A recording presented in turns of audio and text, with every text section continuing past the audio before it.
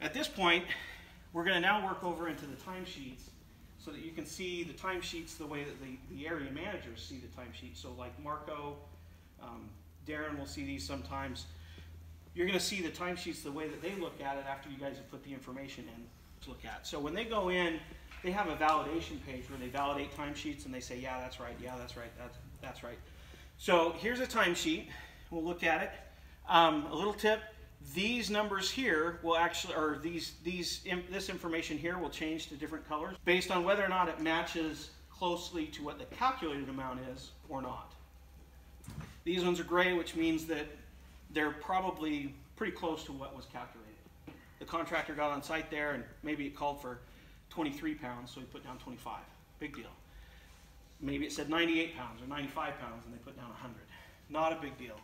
Yeah, this is correct. This, this timesheet basically should be approved and then pushed on. There's nothing wrong with this timesheet, it's perfectly fine. Okay, now on this next one, we've got the same site. Uh, temperature is a little bit different this time. Um, snowfall was two and a half inches. Their snow removal activities were zero to four and two to four, which fits with the snowfall, right? Mm -hmm. But we've got this yellow amount up here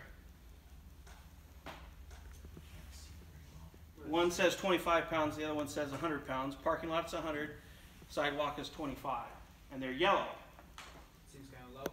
Well, one, yeah, and and and these will come up a different color whether or not it's lower than it what should be or higher. So it's going both ways because the ideal is to hit kind of what's calculated for that site.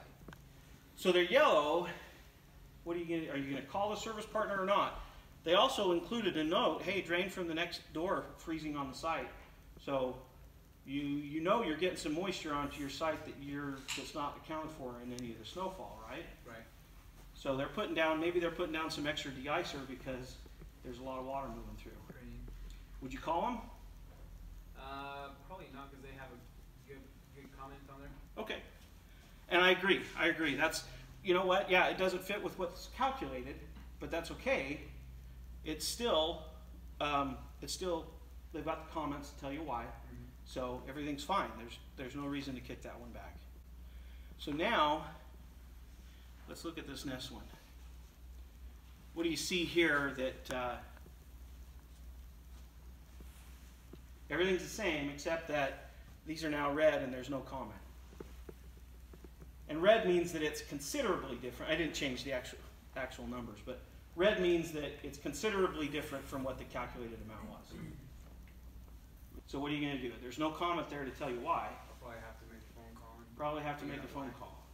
So in this situation, the, the one thing that would make it so that he wouldn't make a phone call or kick this back and say, hey, the de-icer, because when you not approve something, you're going to say de-icer material is significantly higher or lower, it should say, than calculated. No comments to indicate why. It's basically, we're not saying you're wrong. We're not saying it's not didn't need to happen. We're just saying, hey, we've got to we've got to have some reason why this is, even if it's just a quick, hey, a lot of extra site ice on the site that needed to be managed, a lot of extra runoff from next door, a lot of extra puddles in the parking lot that, you know, duck ponds or whatever they call them, that fill up with water and then freeze.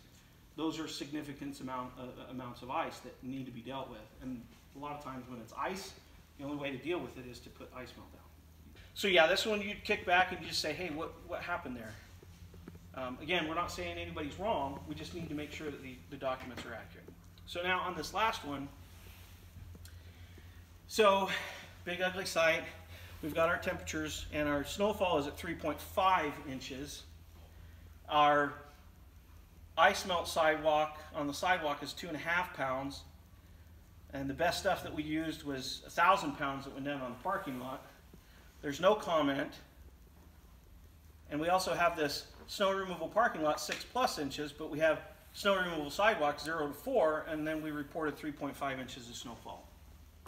What would you do, Marco? I'll probably have to reject it and add a note on there because it's just. It, it, looks like a typo. Someone. Yeah, yeah. Maybe one of the guys was hitting the zero too many times on the Right. It's supposed to be 100 pounds and not a thousand, you know, a thousand pounds. And maybe this is supposed to be 25 pounds and they accidentally hit the, the decimal point. Um, this one here might be that they thought they hit the other one. I mean, it's ju- mistakes happen in the field, and we get that.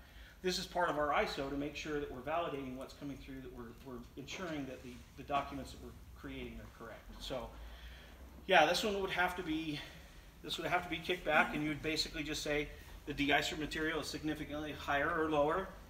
And then it, it also notes here, service depths um, and reported snowfall are inconsistent. So it's just making them, was it 3.5 inches or was it 5.5 inches? And the snow removal on the sidewalk is incorrect.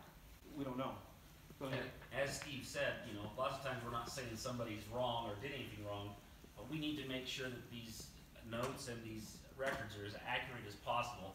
If we get into any kind of a lawsuit, they're not just gonna look at the timesheet for that site that happens, they're gonna look at multiple sites. And if their lawyers can prove that, hey, twelve percent of these guys' records are bogus, they're gonna throw all of our records out. That means everybody losing money. Yeah.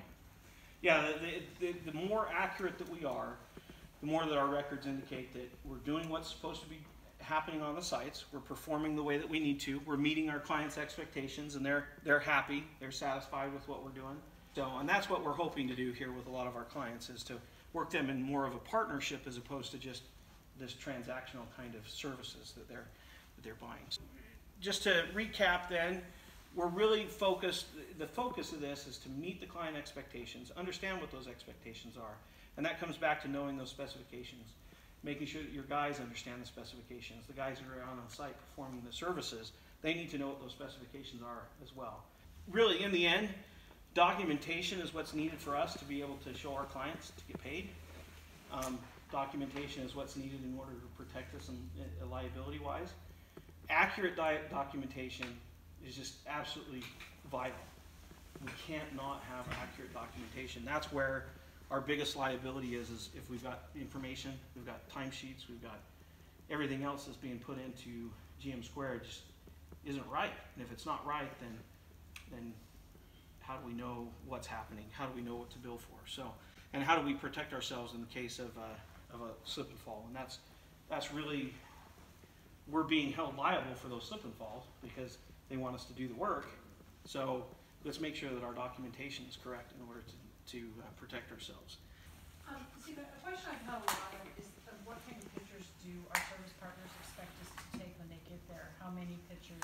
So, do you wanna talk a little bit more about what we're? So, so on the pictures, uh, images are probably one of the best things that was, we've worked with some of the consultants that we've worked with over the last little bit. They're expert witnesses in, in court cases that make it into court. Simple images of as far back as you, if you pull up to the site before you pull in, take a picture of the entire parking lot with all the snow on it, or with all the ice on it, or whatever it is. If there's specific areas that show a lot of ice, and you're putting down a lot of ice melt, a quick couple snapshots of that ice, the puddles that are frozen over, the chunks of ice that are, you know, across the parking lot, the drainage that's coming from a next door lot that's just draining into your parking lot that you're maintaining. All of those things, all of those images help to support that, hey, we were there, we saw all of this, and we put down extra ice melt than what was calculated because we're trying to manage it. And yeah, we're doing what's reasonably expected. Because that's ultimately what it comes down to. Are you doing what's reasonably expected to keep a site safe? When you're leaving the site and you've done some work, um, take another quick snapshot of the work that was done. Uh, it'll those those photos they're they're stamped with the date and time that they're taken when they're uploaded. So all of those are there. It, it indicates that you were on site at that time. So last year, because of how much snow we got, I got to the point where I was like, every picture looked the same. I was like, Correct. really, I mean, that, that's just how I personally felt, so I wasn't requiring, so, but you're saying it is better to go ahead and just go ahead and take them, upload them, doesn't matter Yep. that they all look the same. Doesn't matter that they all look the same. In fact, if they all look the same when you leave and the site's nice and clear and nice, but all of them have different dates that show that you were there, Right. that's the key. It's, it's showing, oh yeah, here's the p- photo and here's the date. Yeah, we were there that morning. We did what was expected on the contract. We, we fulfilled and serviced that site. What more can we do? And that's really what it comes down to. There's not much more that you can do if you're fulfilling the, the specifications for the contract. You're doing what's reasonably expected, then we're protected. And then finally, we'd just like to say thank you to all of you for the hard work that you